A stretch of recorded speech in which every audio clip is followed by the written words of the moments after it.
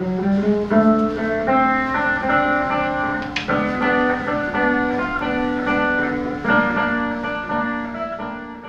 unremarked. Until the release of King of the Delta, blues singers, Robert Johnson, and country blues in general, was one of these largely forgotten presences. And today, the Johnson cult reinstates the same kind of individualist, unique artistic genius discourse that left him in obscurity for so long. His recordings, nonetheless, demonstrate a controlled, deliberate, and thoroughly innovative use of certain production techniques of particular relevance to the study of fabricating space in popular music, in American popular music.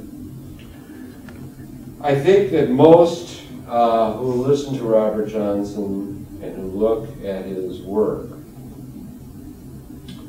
find evidence of, there, there are two approaches to Robert Johnson. One approach is to undermine Robert Johnson as a significant individual. Scholars need jobs, they need something to do. Publishers need books uh, uh, in, in, the marketplace, even today, uh, wherever possible. And the authenticity wars have all to do with the myriad of books on Robert Johnson. There are some written by um, uh, people who, who, who really want to want to take away the uh, persona of Robert Johnson. So therefore, rightfully so, find origins to all of his songs uh, in Peetie Wheatstraw, Scrapper Blackwell, so many other uh, artists uh, that he uh, was able to, um, because folk music works that way, grab, the steal, reconstruct, but we have to keep in mind, and as I read these books, as I, as I must, and enjoy them immensely and learn phenomenally from them, I realized that when I first heard Robert Johnson on a 7-8 RPM, I had no idea there was anything before him. Um, that would be in the 50s, not the 60s. Um, and so even, I would say, within the last decade, um, we're still learning about Robert Johnson. Robert Johnson would never have imagined a huge article in Vanity Fair not that long ago, I think it was last year, about a third photograph of him that purportedly had shown up. Matt Umanoff, who runs, who's a friend of mine who runs Umanoff Guitars in New York City, I think one of the oldest, most venerable guitar shops in the world. Uh, well, it was one of his employees that uh, secured the photo. I believe, if I remember correctly, it was a uh, kind of a fluke. Uh, it was not known to Robert Johnson, and there's argument to this day it's now being subjected to forensic science.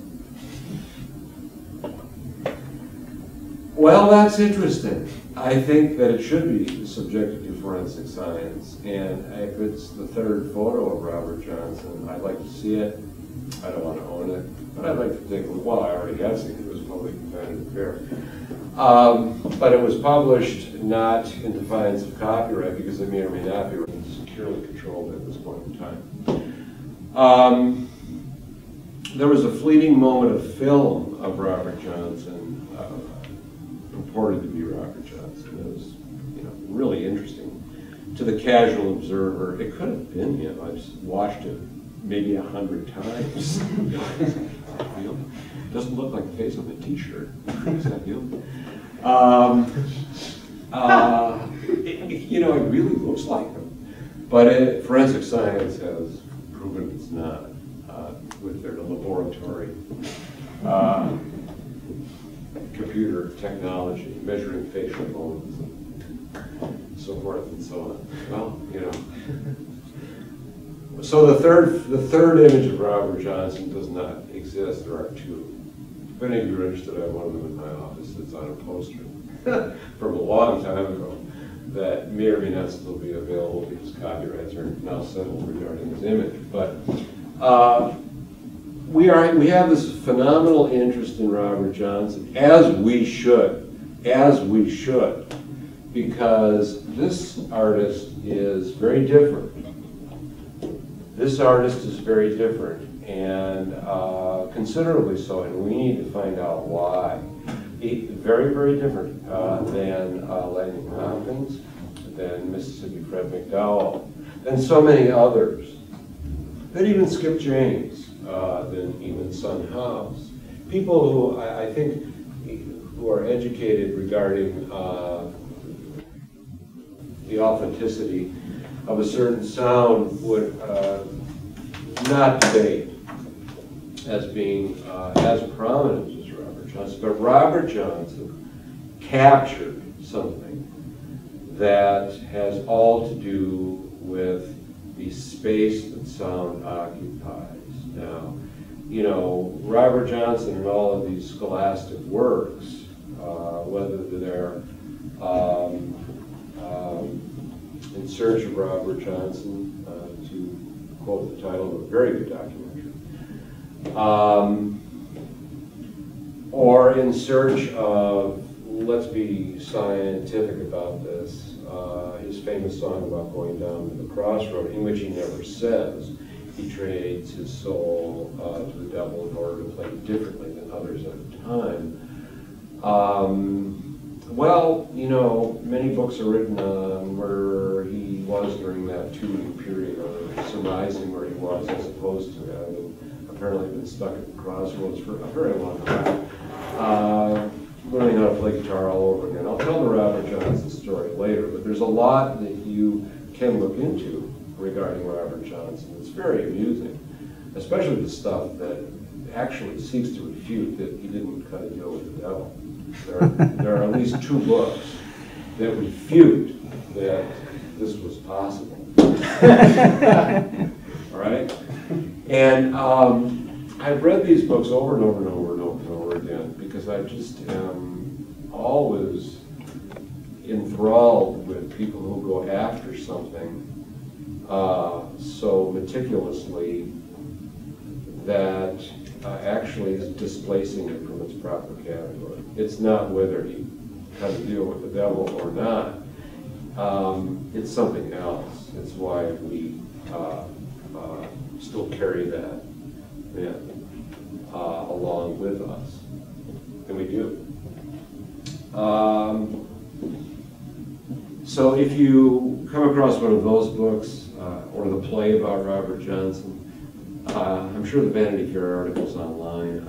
I, think it would be fun for you to just enter the world of who is Robert Johnson, uh, not as scholars, but uh, you know, as people hunting hunting for gossip tidbits, and just start to build up, eh, please, if you would, um, if you haven't already. If you have, well, then fill the assignment here about two days ahead. Uh, just just try to figure out who this guy, why is this, this, this man so important to us? And keep in mind that uh, it really was, uh, I'll give you a history of Robert Johnson later on, but keep in mind that it was his, it really was his record so accurately, his 33 and a third RPM record so accurately described uh, as changing music forever, uh, really, during uh, its issuance.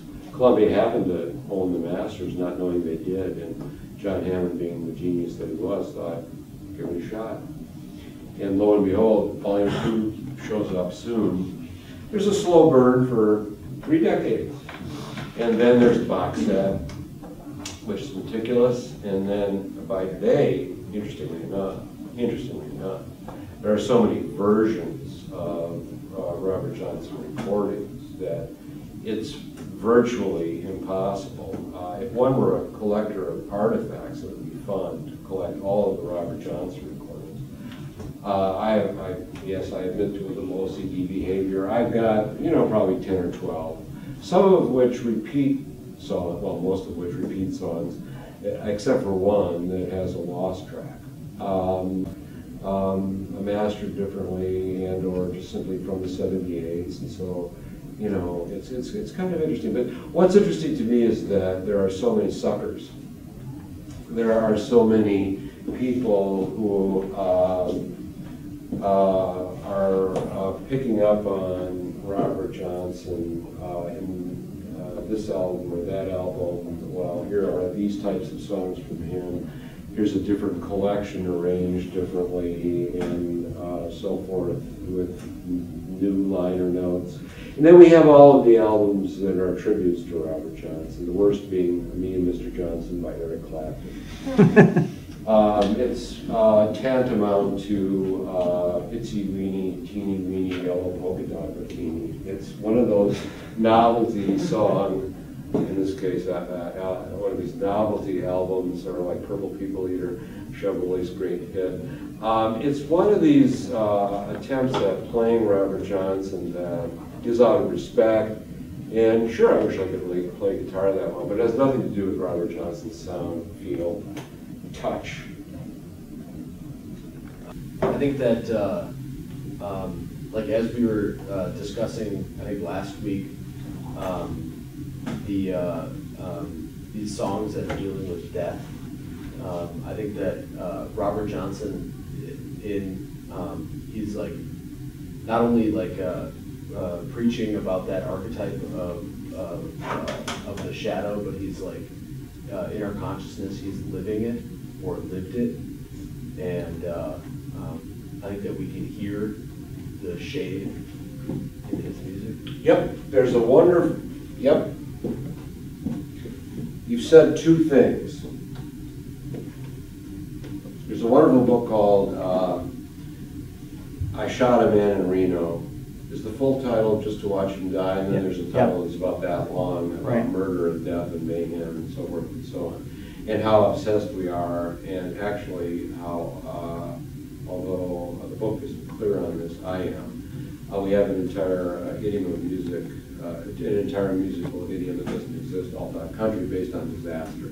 Well, we'll, as we move forward in the class, we'll talk about it. But, yeah, absolutely, right. This sense of foreboding and, uh, can I just be poetic? A graveyard at night uh, is in uh, the Robert Johnson lyricism. It's in the very uh, spookified, spookified guitar work. Um, it, there's something very spooky about what he plays that um, uh, it- it- forgive me, it is a sonic metatext uh, regarding uh, meaning, death, be- being mean. Um, So, you, yeah, you're absolutely right. As with other artists during different eras, uh, no matter what the derivations are, he captures an archetype in a way that no one else could. So, you've talked about performance and content as the same thing. And then another subject category is how did he make these recordings? Because that has a lot to do with how um, we take the sound. If they were made differently, if you weren't as brilliant, Robert Johnson, if you, if you, if he hadn't been as brilliant when he made the recordings, we wouldn't, we probably still have the same impact, but it's really uh, severely reinforced. It's not only there, but um, it's, it's there in, in in a different spatial con- construct. In the bathroom. Yes. Yeah, exactly. Reverb, echo, what, what, what does that mean? Yeah. I kind of wonder what, uh I, mean, with, you know, when I heard Robert Johnson, I heard the, the story first and then heard the music, and then it was kind of like, when, as I was hearing the music, it was kind of like the feeling of like when I was a kid. You heard the story first and then the music? Yeah, and then. That's was- interesting, I need to talk to you. Because it, it it actually, because then when, once I was hearing the music, it was almost like hearing, you know, like old Iron Maiden albums when I was a kid or something, where it had that, uh, that kind of spookiness and the story behind it, or is this actually coming from the devil kind of thing? Talk about cultural identifiers, and I think that um, th- there is something about um, the um, metallic quality of death that um, has all to do with uh, what you're hearing in Robert Johnson. That's interesting that you heard it, uh, that, that you uh, heard the music, you said after the story, I grew up right? in a small town. Yeah, well, right, exactly, yeah, yeah, yeah, yeah. And uh, um, I think to go along with that, like if you're, um, uh, if you view the devil as um, uh, sh- the, the shadow side Yes. of, of the self, Yes. Um, I think, like, the intrigue for me is that I am hearing the devil. Yeah, absolutely. Absolutely. Because this person is like, um, has completely embodied, and I think completely self-consciously embodied, um, the shadow side. And we can prove that he self-consciously embodied the shadow side because we can describe the recording sessions and what he did, all right? Otherwise, I wouldn't go there.